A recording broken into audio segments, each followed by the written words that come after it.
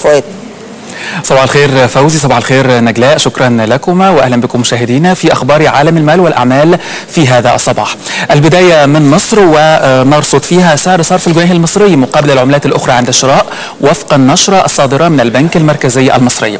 سجل الدولار الأمريكي 6 جنيهات و93 قرشا بينما وصل اليورو إلى 9 جنيهات و8 من 100 قرش. الاسترليني سجل 10 جنيهات و77 قرشا. أمام العملات العربية سجل الريال السعودي جنيها و84 قرشا أما الدرهم الإماراتي فقد سجل جنيها و88 قرشا فيما سجل الدينار الكويتي 24 جنيها و29 قرشا. نتحول إلى أسواق المعادن النفيسة في مصر حيث أعلن الاتحاد العام للغرف التجارية المصرية تراجع أسعار الذهب بالسوق المحلية خلال الأسبوع الماضي بمعدل 5 جنيهات للجرام. مرجعا هذا التراجع إلى هبوط سعر صرف الدولار الأمريكي سجل جرام الذهب عيار 24 326 جنيها و83 قرشا. أما جرام ذهب عيار 21 فقد سجل 285 جنيها و50 قرشا فيما سجل جرام الذهب عيار 18 244 جنيها و50 قرشا عالميا استقرت أسعار الذهب لينهي المعدن النفيس ثاني أسبوع من المكاسب على ارتفاع قدره فاصل 5% بعد صعوده أكثر من 4% خلال الأسبوع الماضي.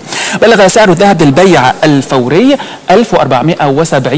1470.3 دولار للأوقية، فيما زادت العقود الأمريكية الآجلة للذهب لتصل إلى 1470 دولار للأوقية ومن بين المعادن النفيسة الأخرى ارتفع سعر الفضة للبيع الفوري ليصل 24 دولار فاصل 8 من 100 دولار للأوقية. إلى أداء أسواق المال العربية خلال الأسبوع المنقضي التي تباين أداء مؤشراتها فتقدمت في سبع أسواق فيما تراجعت مؤشرات ست منها وذلك وفقا لتقرير صادر عن بنك الكويت الوطني شملت الأسواق المتقدمة السوق الكويتية التي ارتفعت بنسبة 4.2 بالمئة وكذلك ارتفعت سوق دبي المالية بنسبة 2.6% وكذلك سوق قطر بنسبة 1.8% السوق التونسية ارتفعت أيضا بنسبة 1.3% ثم البورصة المصرية بنسبة 1 بالمئة ثم السعودية ارتفعت أيضا بنسبة فاصل سبعة بالمئة.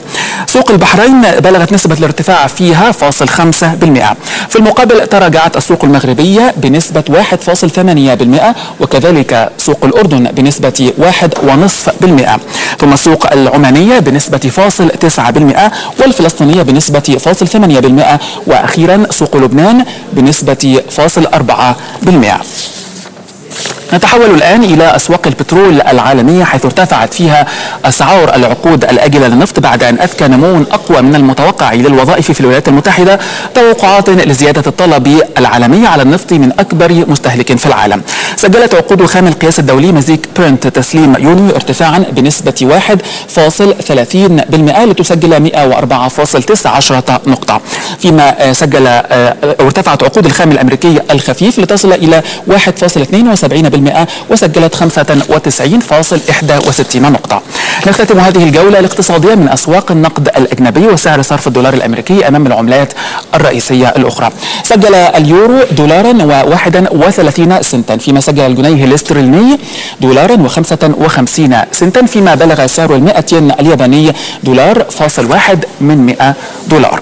مشاهدينا إلى هنا انتهت هذه الوقفة الاقتصادية. عودة من جديد إلى استكمال